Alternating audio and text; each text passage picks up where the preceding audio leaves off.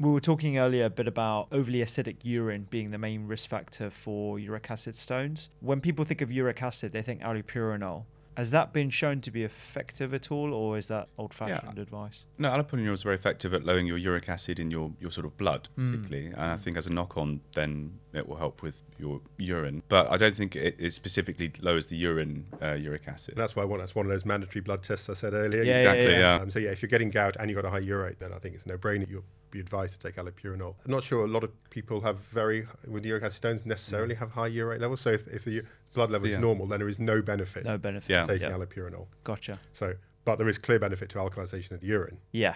And as I say, if you can you can reach Yes. a certain level where it will be fully dissolved, Yeah. if you yeah. if you can achieve that that Yeah. level of alkalization.